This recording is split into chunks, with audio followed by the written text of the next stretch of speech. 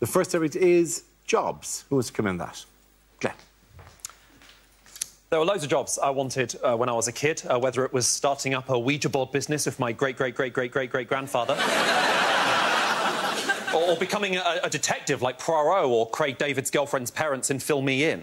I, I, always wanted to be a movie star, you know, like a proper method actor like Eddie Murphy, because, you know, Eddie Murphy is so method and, and so committed that to get into the role of a vet in Dr. Dolittle, uh, Eddie Murphy actually spent 10 years starring in lots of other shit films.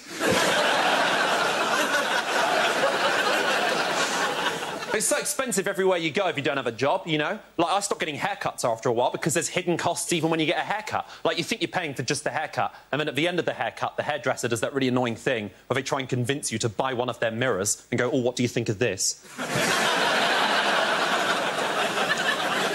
I say, I don't want to buy one of your mirrors. I want you to wash my hair at an angle I've otherwise never been at so expensive everywhere you go. Like, I used to get the bus to work every day. Get this, £29 per bus journey. £29 per bus journey is insane.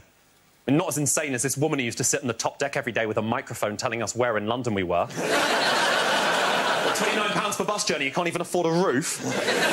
Take three and a half hours to get between Buckingham Palace and Westminster. Neither of which are places I work at. But, you know, for the first time in my life, I thought I've got a job. I can buy things. I can buy things for my room. I can buy a chest of drawers and a desk lamp and a flashing neon halal sign for my window.